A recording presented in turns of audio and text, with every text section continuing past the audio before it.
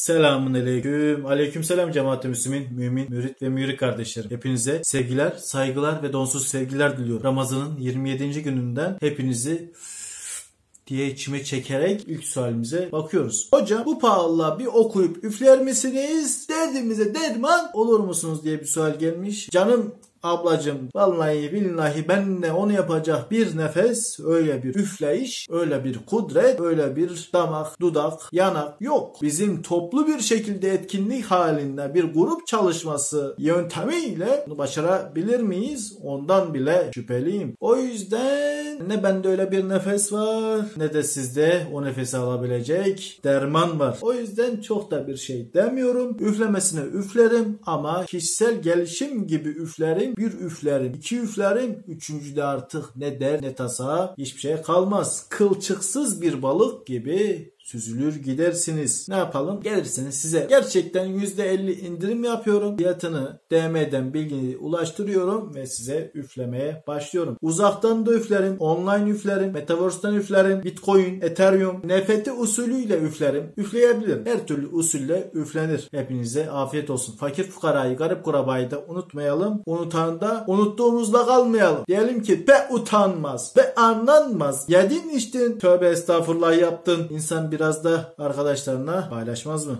Paylaşmak güzeldir.